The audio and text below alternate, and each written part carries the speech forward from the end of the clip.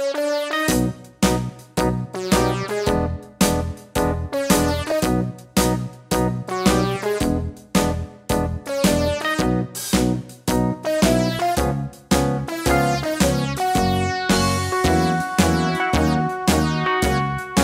Babe, nakakatawa yung mga nagbebenta rito. Grabe yung advertisement nila mga kaigan.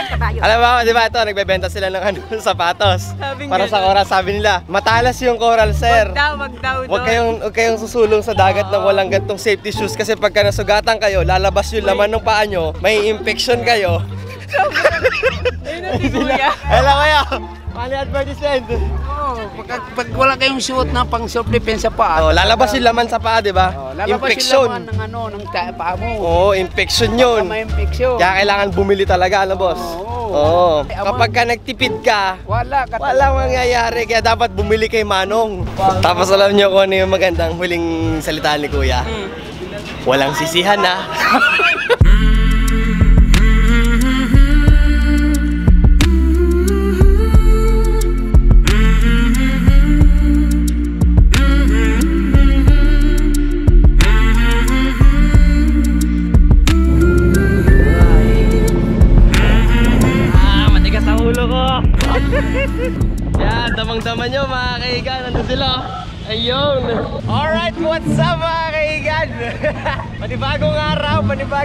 kataratutuan na naman. What a wonderful view mga kaigan. Tignan nyo.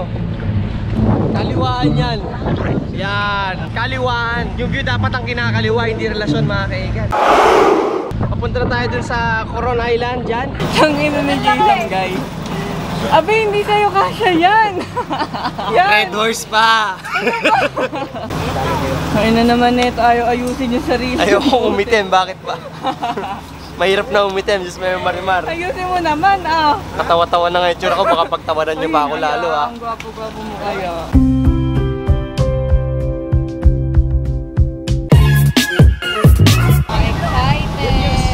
Dami kong natutunan sa taong to, Diyos may marimar. Ngayon ko lang nalaman, sabi niya, karamihan dito sa Pilipinas ang tingin sa mga katutubo, mga ano lang, parang sayaw-sayaw lang. O sayaw-sayaw, tapos hindi nila alam na mabababa tingin nila sa katutubo. Let me educate you sa aking natutunan for today. Nakikita niyo yung islang yan? Kanila lahat yan. Yung mga fee na binabayaran dito sa entrance, sila yung kumukuha nun. Lapan tax. Oo, kapag ka nag, uh, bawa, di ba sa Maynila, Happy Tea, Happy Friday.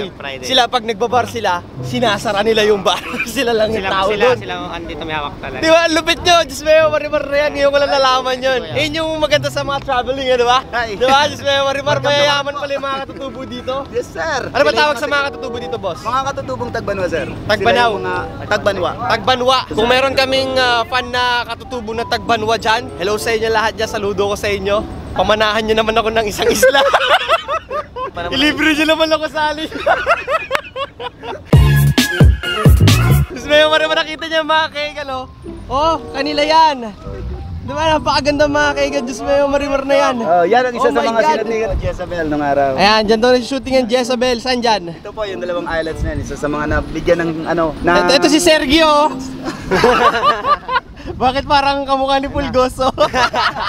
sulit na sulit mga kaigan, no? kakadating pa lang napakadaming picture na yung nagawa. Diyos mo yung marimar na yan. Diyos mo yung marimar na yan mga kaigan. Eto na naman tayo. Nandito na naman tayo sa may bangka na sinabi ko sa inyo na dapat enjoyin nyo to, tong bakasyon. Sinabi ko rin to sa inyo last year mga kaigan. Hindi ko alam kung ba't paulit-ulit nangyayari. Nagburakay kami. First time, nagandahan kami, bumalik na naman kami.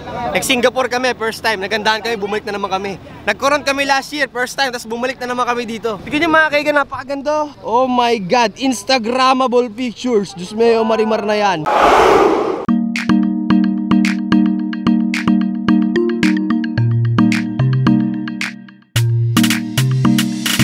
See me, what's the first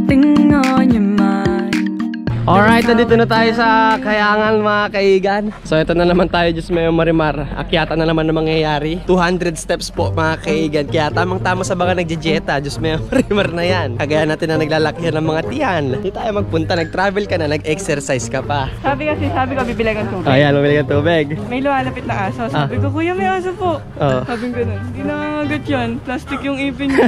Gago. Mataas-taas na akyatan to mga kaigan. Tingnan nyo, napakatirik nung, ano, nung hakbang na gagawin nyo dito. Matatanggal na yung chan nyo rito, magkaka-shape pa yung legs nyo. Diyos mo yung maramar na yan, di ba? Hindi nyo ba alam, yung coron comes from the Latin word coronitisus, appendicitis. Laman saan, pagka kumain ka, tapos umakyat ka dito, magkaka-appendicitis ka. Limang steps pa lang, hinihingal na ako. Lalabas lahat ng lalabas dito mga kaigan. Hoy, mabuting apo. oh. Nanay, totoo ba yan sa tingin mo? Alright mga kaigan, sa wakas, eto na. Etong view ang hinahabol natin dito. Diyos may marimar na yan. Oh. Kaming tatlo lang ang nauna dito. Si Maring Camille, mamaya pa ata dadating. Dati umakyat Coming kami soon sa pa lang si. Team Camille. Pagdating sa akyatan, wala pala kayo eh. My number in your phone. Take a picture and a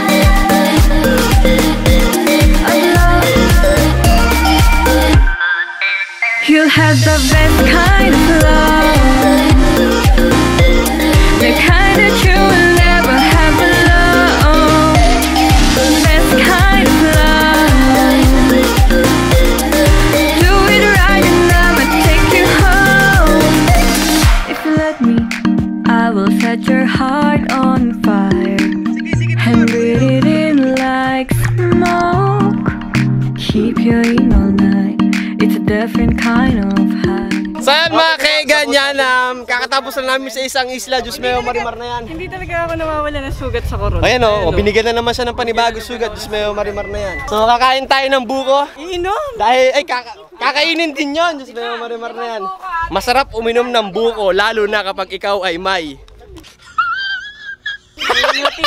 UTI! UTI! UTI! Ang daming butterfly dun mga kaigan, no? Lapit ang mga babe. Tignan natin kung ikaw ba talaga ang literal na... Ay, nagdidikitan nga mga kaigan, no? Ini-welcome nila yung mga tao. Ngayon, no? Ay, ang galing, oh. wow! Ngayon sila, ang dami. Muskit ka dyan, babe.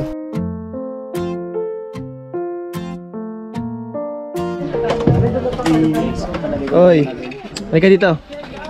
Sabi sa sign, do not leave your valuable things unattended. Bakit? Halika dito. Mahalik ka sa akin eh.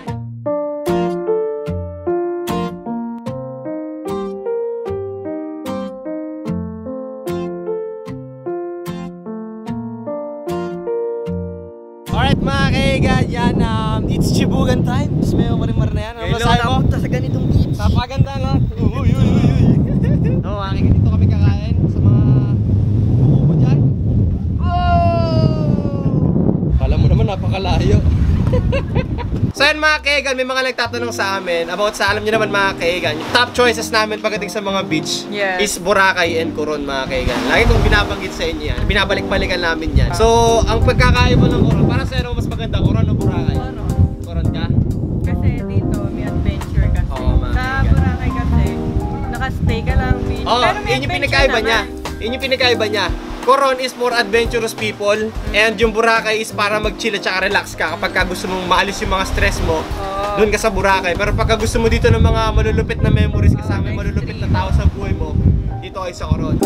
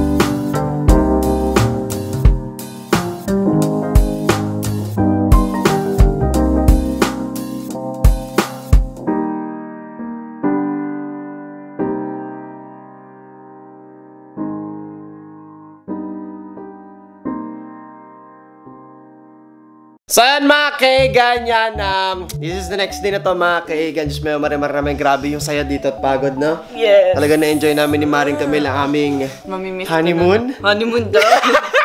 Soon mga kaigan, mag-honeymoon kami ni Maring Camille kapag ka na. Kinasal lang. so, mamimiss na naman namin tong lugar Oo, na to. ayan, Kasi shoutout ito sa mga talaga taga dito. Talaga mahal na mahal nyo kami. Diyos may marimar na yan. At saka sa mga ano, sa mga fan namin na taga Oo, Coron. Sorry sobrang, kung hindi oo. kami nakalabas kahapon Yes. kasi sobrang sakit na ng katawan namin. Sobrang in-enjoy Yung sunburn ko, may sunburn pa mga kaigan. so yan mga kaigan dyan, ah, napakarami pa nangyari dito sa vlog namin na to na hindi ko na may edit kasi mag-check out na kami. Pero mga kaiga, huwag kayong mag-alala. Habang uh, nag-play ang ating ah, Sending Flowers na outro, eh, papanood namin sa inyo yung mga nangyari. Nakita rin kami ng lumubog na barko sa ilalim. Oo, shipwreck. Oo, shipwreck yung tawag doon, diba?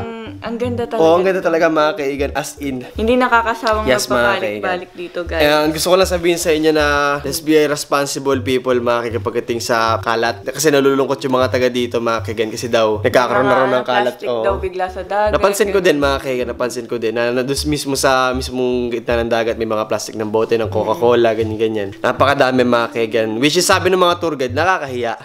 Kasi Diba? siyempre, yung mga ibang Oo. ano, tingin dito sobrang linis. Ganun. Oo, nire-represent daw nila yung bansa natin sa mga taga-ibang bansa tapos makakakita Totoo raw ng ganun. So, ah, wala nasisihan mga kaigan. Tulong-tulong na lang daw sa paglinis. Kapag ka nakakita ka, volunteer, damputin na mga kaigan. Same sa Maynila, sa mga lugar natin. Pag may nakita kayong kalat sa tapat nyo, linisin nyo na, huwag nyo na ituro na. Hindi naman ako nagkalat yan eh, hindi ko lilinisin yan. Huwag na, tigilan natin yung ganung mentality. Gawin natin yung mentality pag nakita tayo ng kalat, damputin natin mga kaigan. Ayan, dyan na mga hanggang dito na lang tayo. Smell marimar na yan, uuwi na kami. Maliligo na.